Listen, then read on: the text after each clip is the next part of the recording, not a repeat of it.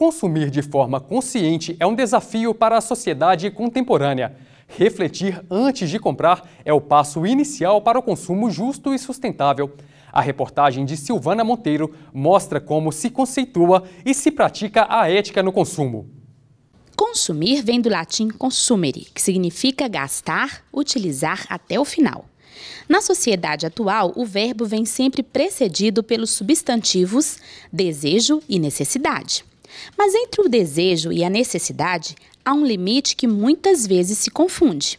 Até a Flávia, que não se considera uma consumidora voraz, se viu diante de uma armadilha. Tem pouco tempo, inclusive, eu comprei, comprei até no cartão de crédito de uma amiga minha.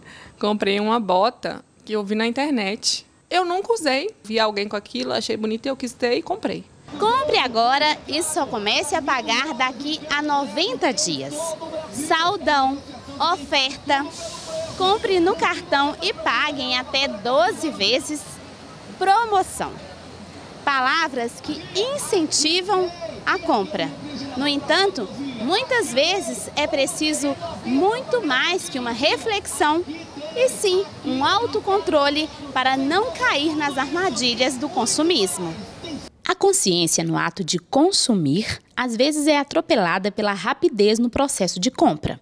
O desembargador Manuel dos Reis, que também possui formação em filosofia, destaca a importância da ética no consumo. Uh, a ética é uma parte da filosofia que reflete sobre as nossas maneiras de vida. Né? Uh, ou então, o nosso exercício reflexivo sobre as nossas maneiras de vida, sobre os nossos hábitos, por assim dizer. Eu vou trazer uma frase de uma filósofa alemã que se radicou nos Estados Unidos, Hannah Arendt. Ela diz o seguinte: a vida está muito rápida, está acontecendo muita coisa. Ela diz isso sobre a política, né? É necessário parar para pensar. Eu acho que essa é a melhor frase e, e ela pode, de certa forma, combater a rapidez com que o consumo se dá. Se nós pararmos para pensar, talvez ganhemos muito em termos de tempo depois, porque as dores de cabeça jurídicas,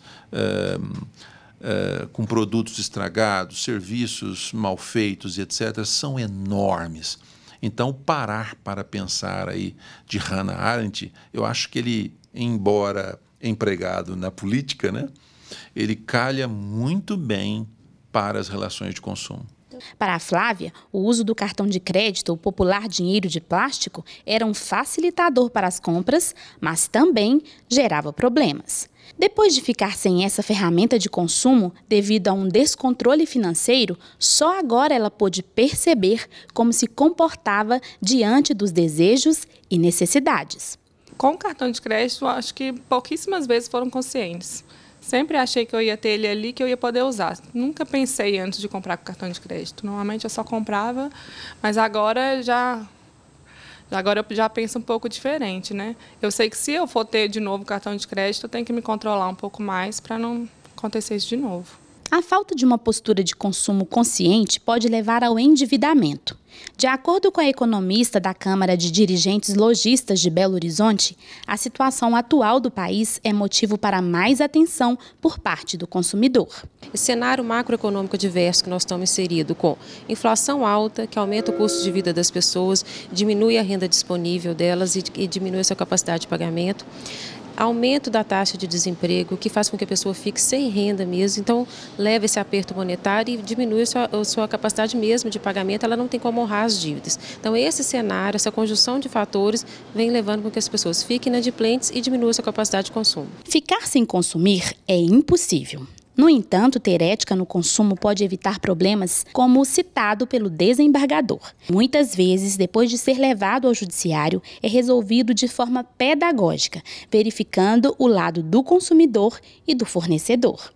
A pergunta que nós sempre fazemos ao processo, ou para aquele conflito de interesses, é: será que o fornecedor ao massificar a propaganda ou marketing para aquele produto e provocar o desejo no consumidor, ele pensou na possibilidade de o consumidor não ter condições de arcar com aquelas parcelas? É a pergunta que nós sempre fazemos ao processo. Então, o processo, enquanto conflito de interesses, ele não é só um processo. Nós não damos só uma resposta para aquele conflito. Não decidimos apenas o conflito. Nós procuramos uh, exercitar esse lado pedagógico. Olha, não podia ser assim, por isso, por isso, por isso. Ao fornecedor, você poderia ter prestado atenção no perfil do cliente. Você poderia ter observado melhor o itinerário de vida dele. E você, consumidor, deveria também ter pensado melhor sobre as suas necessidades. Talvez este carro não fosse tão necessário, um de menor valor, quem sabe? Uh, enfim, são múltiplos aspectos. Uh, nesse sentido, eu penso que a função jurisdicional, e aí eu coloco para todas, né? a função do advogado, do defensor, do promotor, dos pais, mães, irmãos, colegas de trabalho, todos nós temos uma função pedagógica, ética no consumo. Comprar, seja por desejo ou por necessidade, reflete no orçamento financeiro. A especialista dá dicas para quem já estourou os gastos e precisa colocar as finanças em dia. Se você já está endividado e sem emprego e alguém da família está sendo responsável financeiro para isso, é você fazer o planejamento familiar, quitar suas dívidas, ver quanto que a família está recebendo, ver quanto que pode cortar de supérfluo, abrir mão de algumas coisas e quitar seus débitos. E principalmente aquelas dívidas que têm maior juros, que geralmente é o cartão de crédito. Então, negociar primeiramente essas dívidas. E daqui para frente, consumir de forma consciente, que é Primeira coisa, bota numa planilha eletrônica ou bota num caderninho. Qual tem aplicativos de celular que você pode utilizar para você ter um controle orçamentário bom, é você tem que ser educado mesmo para consumir. Flávia já está seguindo a lição e, inclusive, mudou o modo de consumir. O que mudou foi que agora não tem mais cartão de crédito, então não estou fazendo compra além do que eu posso. Porque para mim ali o cartão de crédito não era um dinheiro que eu não tinha. Para mim eu tinha aquele dinheiro ali, eu tinha o débito e o crédito. Então agora sem o crédito eu estou comprando só o que eu posso mesmo. Não tenho, não uso cheque nem nada, então não estou passando do limite.